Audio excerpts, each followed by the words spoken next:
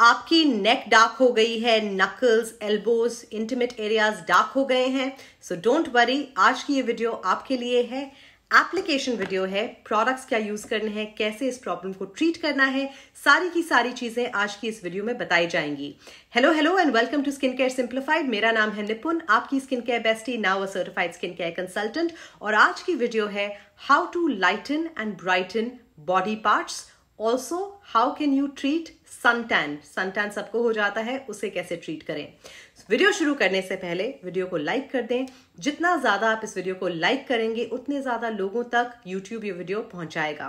Video को like कर दें चैनल को सब्सक्राइब कर दें। अगर आप नए हैं तो मैं बता दूँ कि मैं बनाती हूँ स्किन केयर और ब्यूटी रिलेटेड वीडियोस हफ़्ते में तीन बार संडे वेंसडे और फ्राइडे और अगर आप पिछली कुछ वीडियोस देख रहे हैं और आप सोच रहे हैं कि सेटअप चेंज नहीं हो रहा एक ही कपड़े पहने हुए हैं। वो इसलिए क्योंकि एक ही दिन में मैं कुछ पाँच सात वीडियोस शूट कर रही हूँ।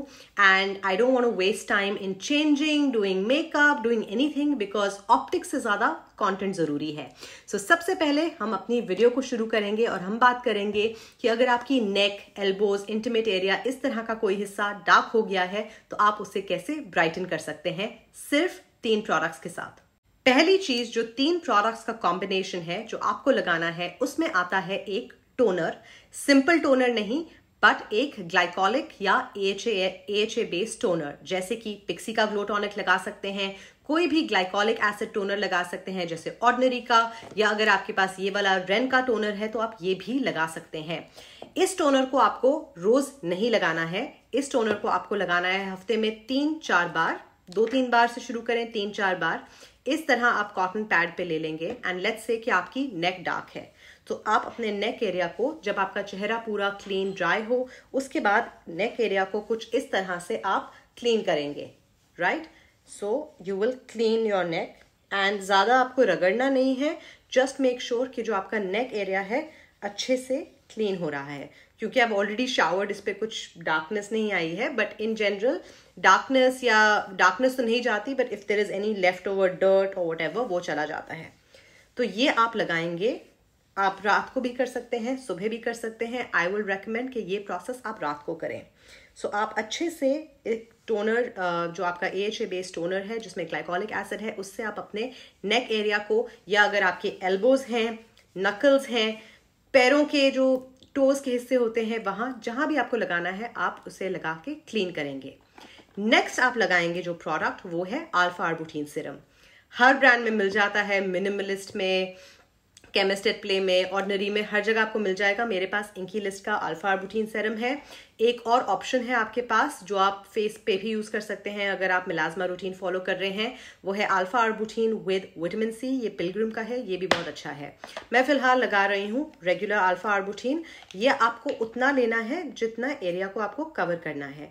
सो फॉर इंस्टेंस मैंने ये लिया है दिस विल कवर अभी हम नेक पे लगा रहे हैं। सो so, इस तरह से I will apply it all over my neck and then you need to make sure that you massage it मतलब लगा के छोड़ नहीं देना है।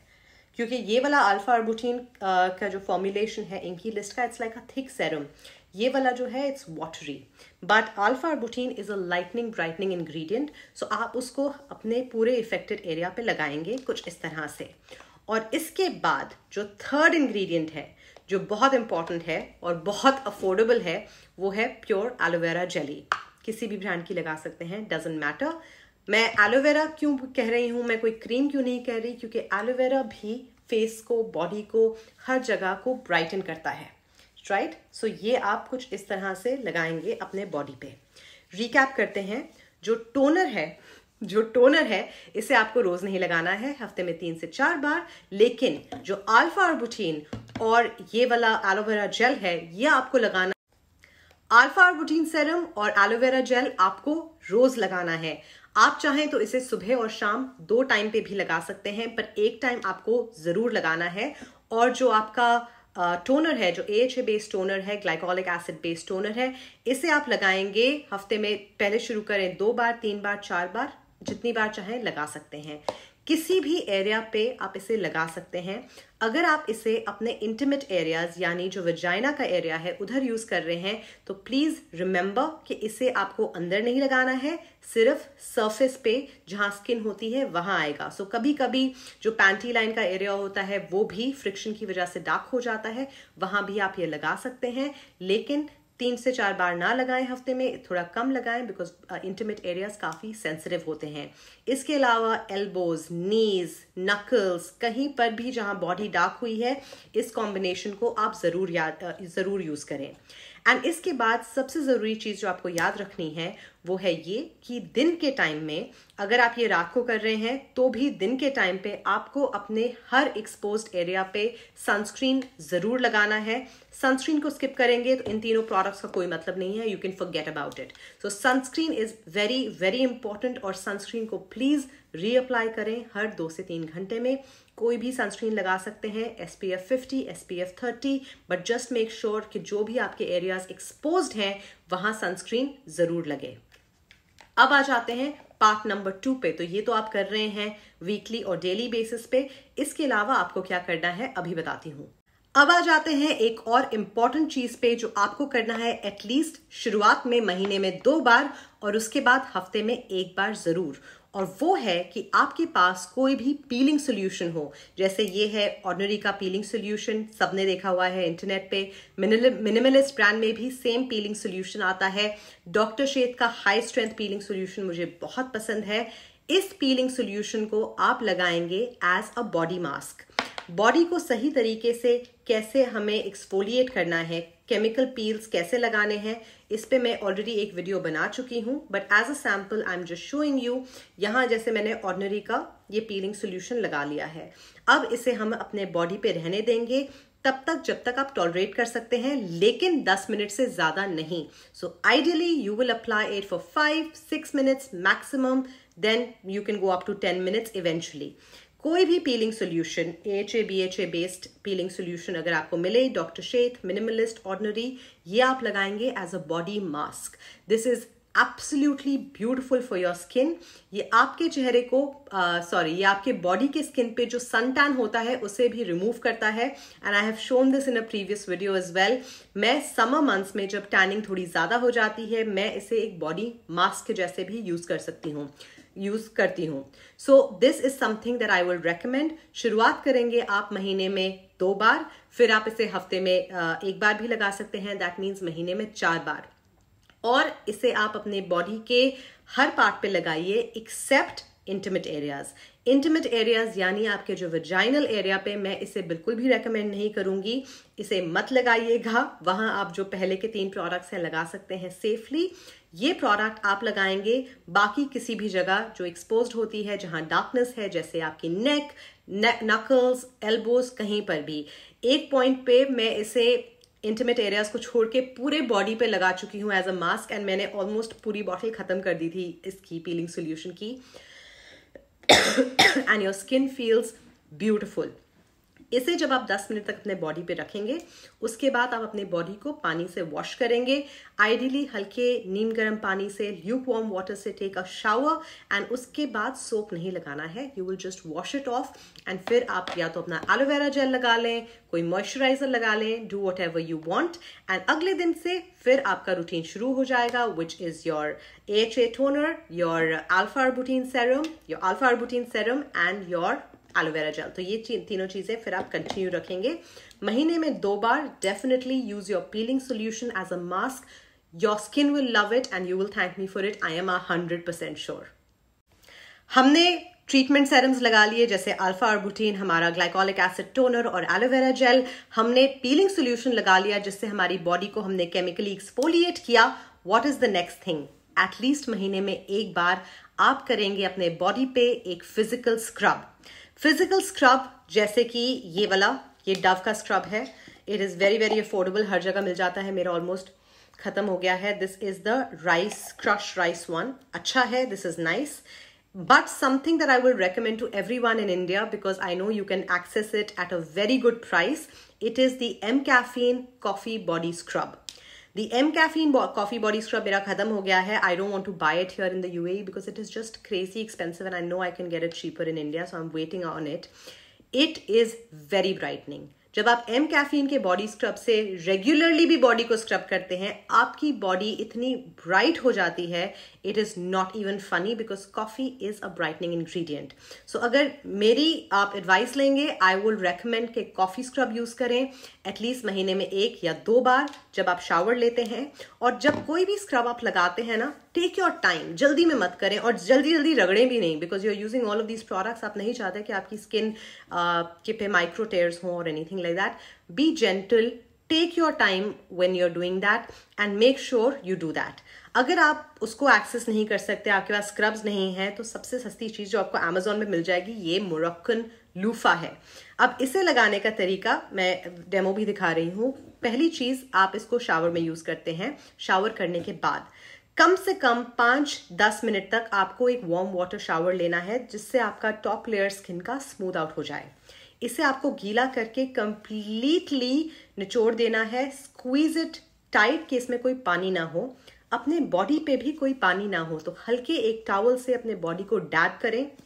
और फिर जब आप इस तरह से इसे स्क्रब करना शुरू करेंगे, जिस किसी एरिया में भी आपको दिखेगा आपका स्किन का top layer all that gunk coming off ये भी बहुत इफ़ेक्टिव है और ये अफोर्डेबल है. You'll get this on Amazon for like ten dirhams और whatever amount so this is quite affordable coffee scrub is the best option वो नहीं मिलता तो आप ये यूज़ कर सकते हैं. डव का भी स्क्रब है.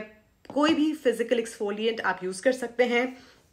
अगर आप चाहें, अगर आपको घर पे एक केमिकल एक्सफोलियन बनाना सॉरी फ़िज़िकल एक्सफोलियन बनाना है तो मसूर की दाल को पीसें और बेसन में ऐड करें and you can use that also because मसूर की दाल भी जब पिस जाती है वन इट्स कम्प्लीटली पाउडर्ड वो एक्सफोलिएटिन का काम करता है एंड बेसन becomes a good base so उससे भी आप अपने टॉप लेयर स्किन को एक्सफोलिएट कर सकते हैं।